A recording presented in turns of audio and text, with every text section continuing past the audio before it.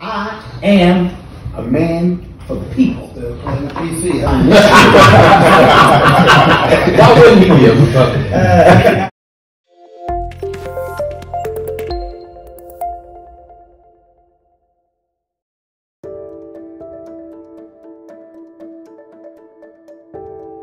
Do you remember what it was like going out? To grab a bite, go to the clubs, go shopping, even catch a game. Or how about going to the movies? And then a global pandemic hit. That's where Tastemakers Media came into play.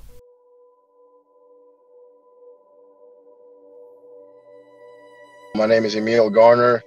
I am the CEO and co-founder of Tastemakers Media.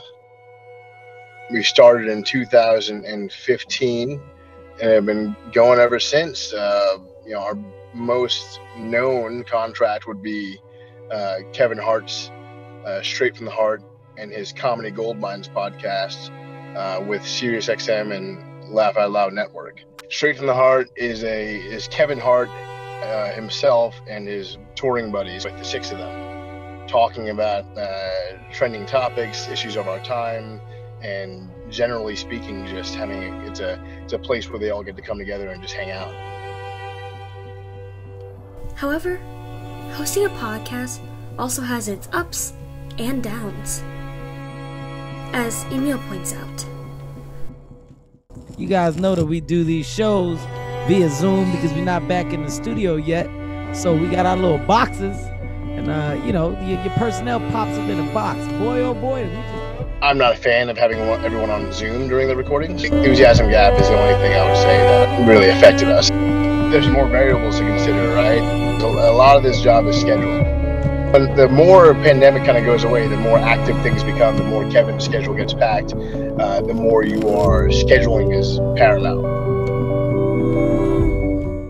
Only did we not suffer during that time, um, we actually prospered during that time.